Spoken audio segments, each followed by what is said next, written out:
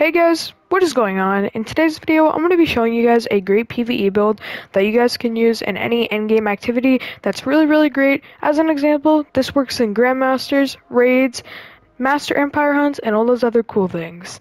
This build is fairly easy to set up for a new player. It doesn't require too much or anything insane. I'll show you guys what I'll be using. So for the subclass, I'm going to be using Revenant Hunter.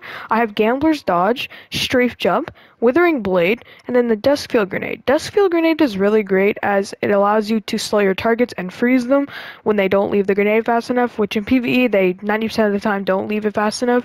And then I have the Shatterdive aspect and the Winter Shroud aspect, and then the Whisper of Conduction as well as the Whisper of Chains. This is going to give me my grenade back a little bit faster, and this is also going to track my position, give me 10 Resil as well as 10 Intellect. The next thing I'm going to be using is the Biting Winds bow. The role I have is Swashbuckler, Killing Wind, as well as straight flinching, polymer string, and then a stability, and then quick access link because I was using it in PvP.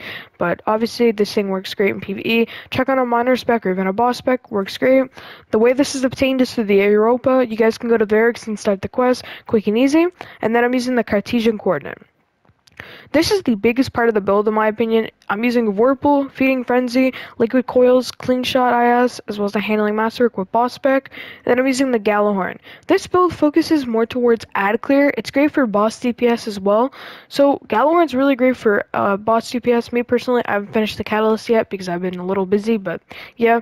Now for the helmet, I have Rocket Launcher Ammo Finder, Fusion Rifle Ammo Finder, and then this is where the build kicks off at, Aeon Swifts.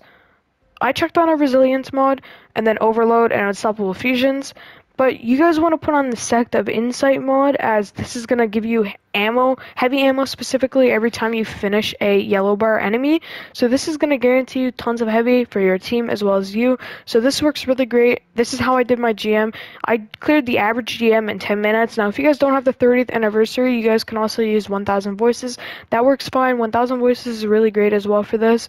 And then the next thing on the chest plate that I have is rocket launcher reserves, fusion rifle reserves, and then higher energy fire. Higher energy fire busts your damage when you get charged with light.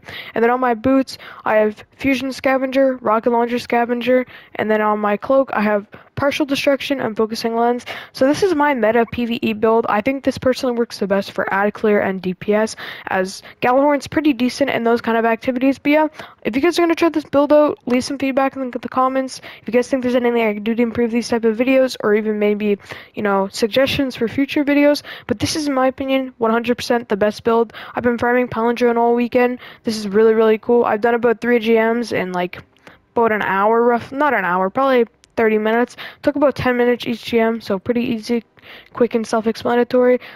I don't mind doing it. It's pretty quick and easy, but yeah. Like always, have a great rest of your day. Peace. Thanks for watching.